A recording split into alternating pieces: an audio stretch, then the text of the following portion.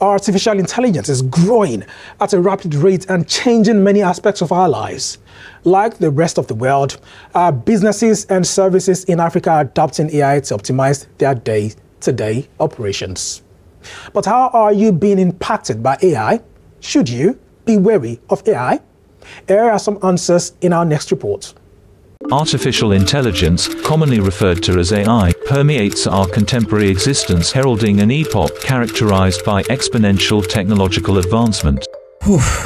that sentence was written using ChatGPT, what I wanted to say is AI is all around us, and it's one of the fastest growing forms of technology. And even here in Africa, there's over 2,400 AI organizations operating across different sectors. We're seeing a lot of AI for good use cases in Africa AI for flood detection, AI for crop detection. According to reports, Africa's economy can be expanded by around 50% if the continent taps into just 10% of the AI market. So let's speak to these free AI experts from Africa to find out how their sector is benefiting from artificial intelligence.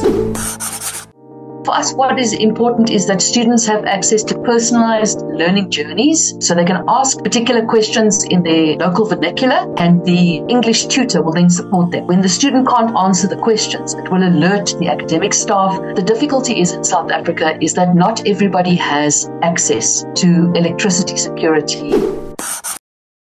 We help doctors dictate their notes. We're able to help doctors complete their notes about six times faster on average.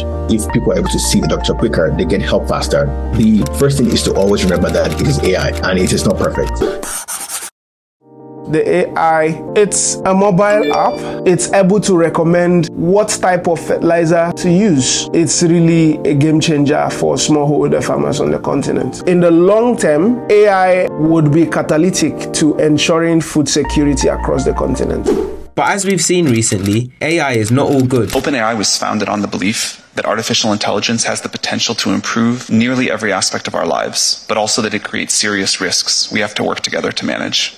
Imagine a scenario where we think we're talking to a human online, but it's AI. Or you think you're listening to your favorite artist's music, but it's AI attempting to be them. And of course, the environmental aspect, the amount of energy that is used to power and build AI machines.